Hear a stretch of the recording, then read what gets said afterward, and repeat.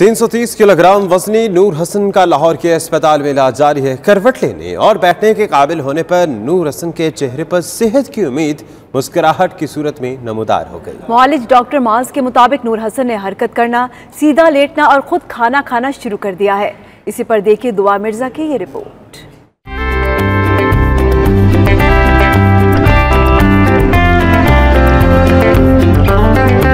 Army chief کی خصوصی ہدایت پر صادق آباد سے لاہور لائے گئے نور حسن میں زندگی کا ٹمٹماتا چراغ پھر سے جگمگانے لگا ہے۔ گزشتہ دس یوم سے ہسپتال میں زیر علاج نور حسن کی فزیو تھراپی اور ڈائٹنگ سے وزن میں دس کلو گرام کمی دیکھنے میں آئی۔ جس کے بعد وہ کروٹ لینے کے قابل ہو گیا ہے۔ معالج ڈاکٹر معذ الحسن کا کہنا ہے کہ گزشتہ دس سال سے ایک ہی جگہ پر موجود نور حسن ویل چیئر پر بیٹھ کر خود واش روم تک گئے۔ نور حسن کے تمام فٹنس ٹیسٹ بھی کلیئر ہیں، جبکہ دل کی دھڑکن پھیپڑے ٹھیک ہیں اور بخار بھی نہیں ہے۔